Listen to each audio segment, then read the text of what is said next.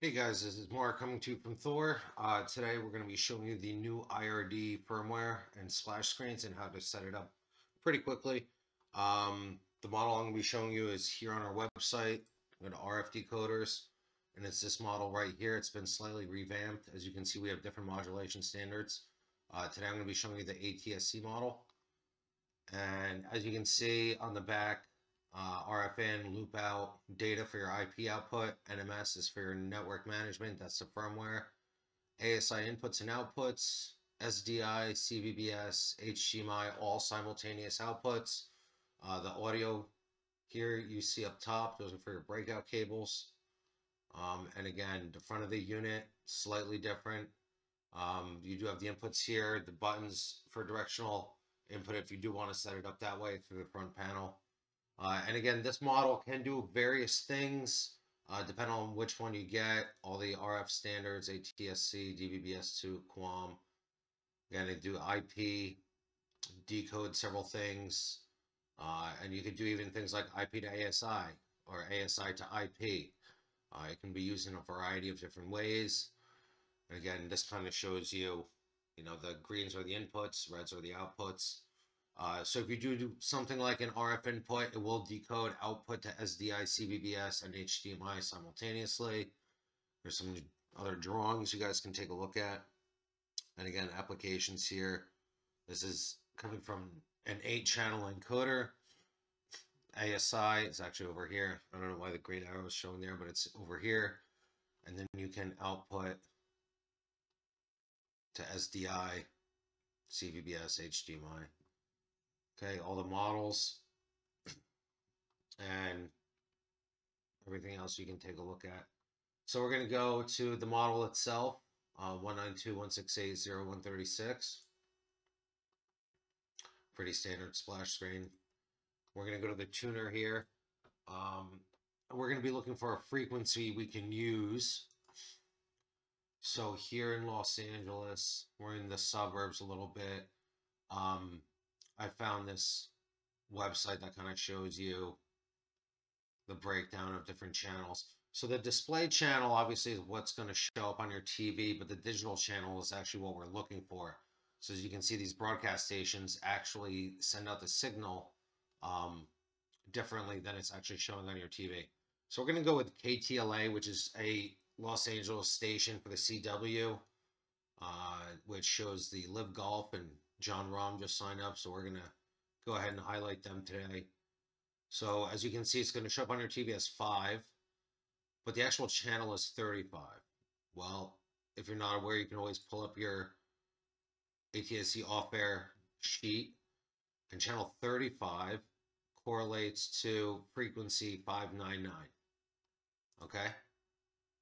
So that's frequency 599. So we're going to go back here we're going to put in 599. We're going to give that a second to start reading. Should get a lock. Quality looks really good. I think the minimum quality you're going to want to see is about 30, 35%. I'm not positive on that, but you're going to want a pretty good quality so the IRD can do the function uh, that it needs to do. All right, so the next thing we're going to go is the settings. And again, this model has been revamped a little bit, so it has a lot of different functionality.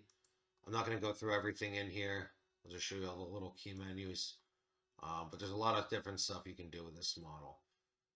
So we're going to go to the tuner here, and you can see that it's already getting about 19 megs from the RF. So you're going to parse that.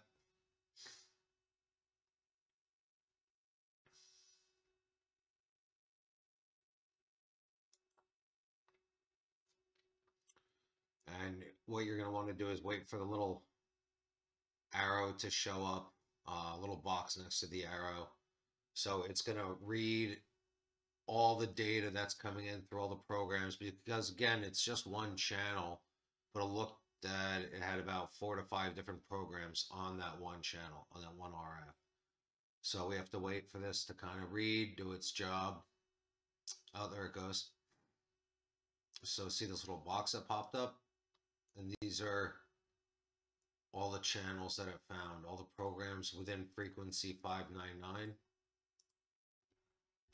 And we're going to send that over here. We're gonna hit other because it's not cam or BISS. It's just gonna be other since it's RF. And now you have a box over here. And these are all the channels I've found. All the programs inside the channel. Okay. Now we're gonna go here. Again, much more um, different options, video format. You can change the brightness, the program. Stereo, you can change it to Spanish in here. Uh, AC3 pass through. Uh, and it also has closed captions here, which could be important for some of you. Now we're going to go to the output. Again, more options, packet mode. I'm going to show you guys the SPTS since that's probably what some of you are going to use. Uh, many of you are going to use multicast depending on your application. So you're going to go here since these are the channels I found. Antenna, Grit TV. Hmm, we'll put in this one. Hit apply. And all these immediately turn green. And what you're going to see is you're going to see the data rates fluctuate a little bit. It's going to get a good lock on, on these.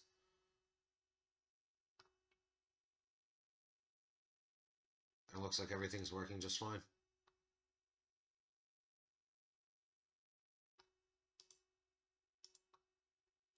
So it's going to fluctuate depending on what the actual broadcaster is putting on those programs. Again, some of these might be 480 standard def. Uh, the bigger channels, the main channels, are going to be probably high def. So you see it's broadcasting in a much greater depth there. Double check everything. Now you got the decoder status is green. Okay.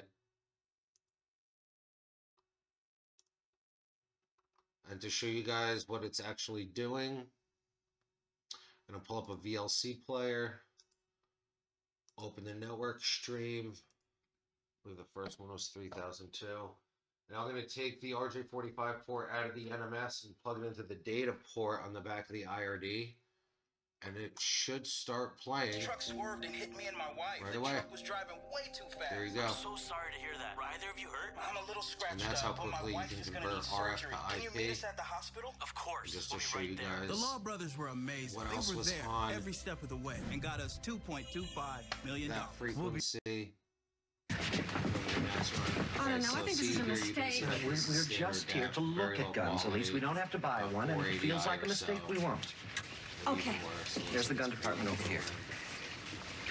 Uh, Well, what can I do for you folks today? the.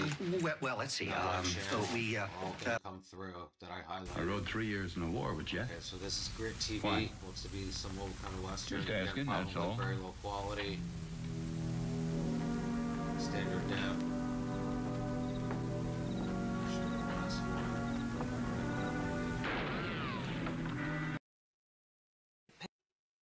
Tox report came back. And Grainer was uh, right. slightly About the drugs better. Anyway, they found ketamine and oxy in his blood. one. Well, that HD, explains so the they blocking did out. have a couple but now the HD question is, channels did he within drug the same himself or was picture. he So drunk? I don't know. if we go Even back if he and took take the a drugs look. himself, it still doesn't make sense. yeah, This so it was shooting was eight premeditated. megs, The gun one, had a one, silencer. and six. The So those were doing your a two murder HD channels, the first and last one. Yeah, I agree. Either Grainer. And as for the rest of the menu, is very standard. somebody set him up. Uh, you can go here. Oh, let me plot the data. Put it back in the NMS.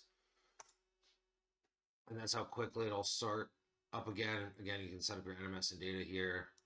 Your password, configuration, restore, factory set, backup, load. And again, you're going to want to save the main configuration file each time you make any changes. That's very important save config. So the next time, suppose a power goes out or you have to turn off the device for any reason, if you don't hit save config here, uh, the device will go back to default settings. So it'll be like a factory reset. Okay. Well, that's everything for me today. Uh, if you guys have any questions, give us a call 1 800 521 8467, thorbroadcast.com. Uh, and thanks for checking out today's video.